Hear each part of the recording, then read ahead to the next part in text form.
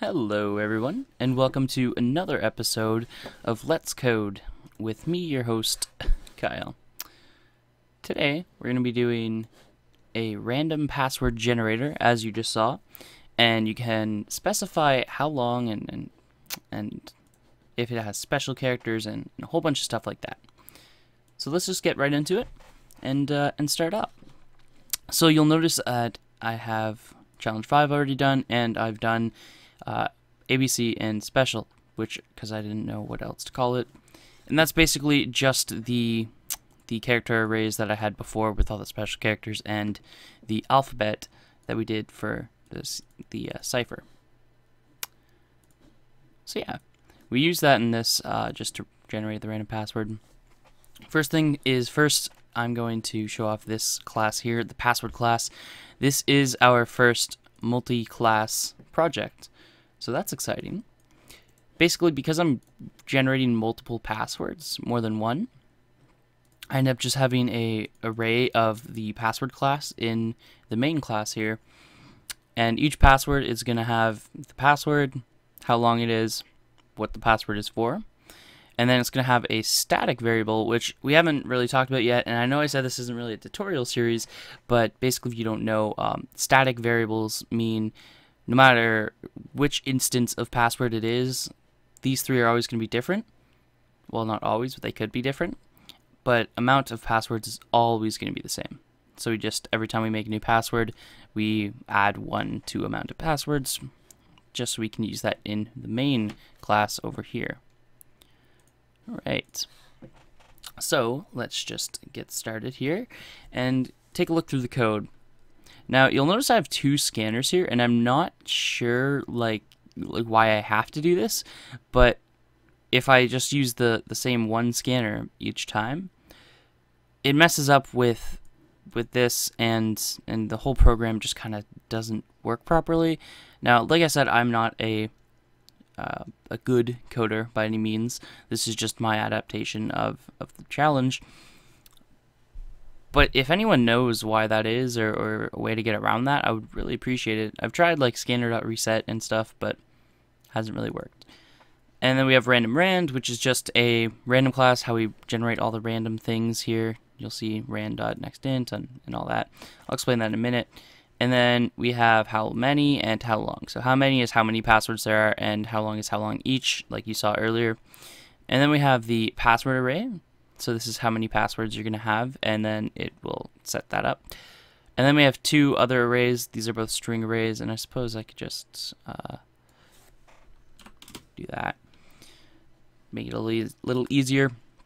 So we have a string array uh, for what for each, and then include special uh, yes or no, and we deal with that in a minute.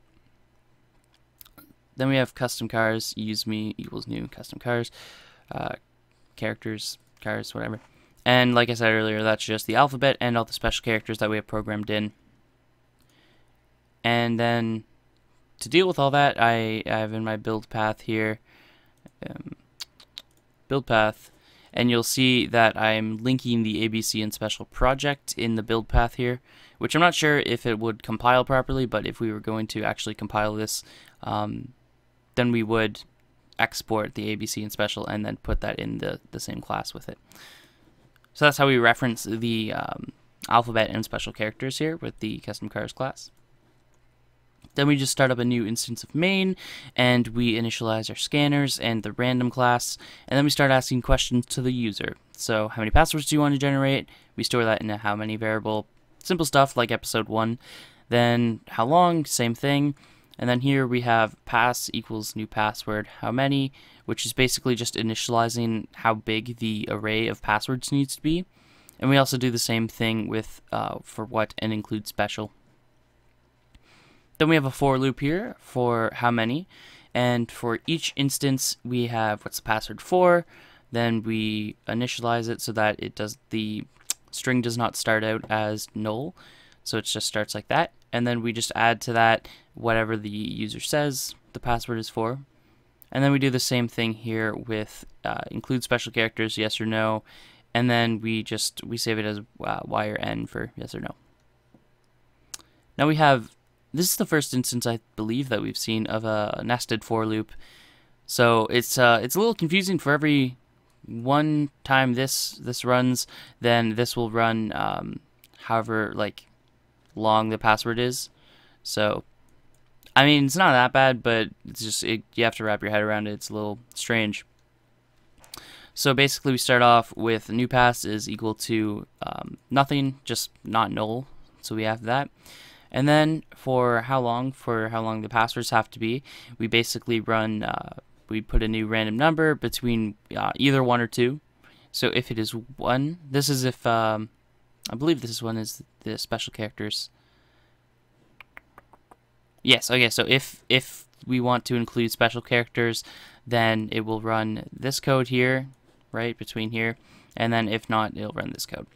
So if it does include special characters, then it will choose a random number between 1 or 2, and if it is 1, then it shows the, the alphabet here, and then it will choose another random number um, between 1 or 2, and if it's uh, 1, uh, it chooses an uppercase number, if it's 2, it's lowercase, and basically then it, uh, it chooses a random letter in the alphabet, um, and just assigns, it adds to the string that we initialized up here, the, the letter whether it be uppercase or lowercase. I just do uh, character.toString, and then here we can use the character.toUppercase method to be able to use the uppercase. Special characters, basically the same thing. We just use a random special character from the special characters array, and then we just add it to the string. If we don't collect uh, if we don't use special characters, I, should, I should say, then we do the exact same thing, just don't include special characters. Then I just have it here saying that I'm, I'm done with the how long loop, and then we assign password i, right? So the for the first iteration, depending on how many passwords you have, uh, 0, 1, 2, 3, whatever, then it says password i, the current that we're on, uh, is equal to new password, and then for what we save in the array, uh, like up here that we have, because we have a list of uh, for what that matches the amount of how many passwords we have, so it works out well for that. So we do new password for what, how long, and then new pass is the string that we saved up here. Then we have the end of the main loop, and then we just list off all the passwords here at the very end uh, as you remember from the start of the video, whenever we do this. So it'll say what for, and then it'll put what the user puts, and then it'll put a, I'm not sure what this is called actually, it's the, the sign above the enter key, if you put uh, shift and then that.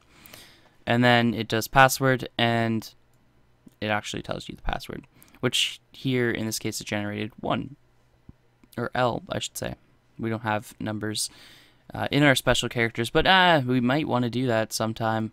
I don't know. So yeah, that's everything. That's uh that's a much simpler program than than last time. And next one's a little bit simple too, but but we should be able to get to, to some more complicated stuff soon enough.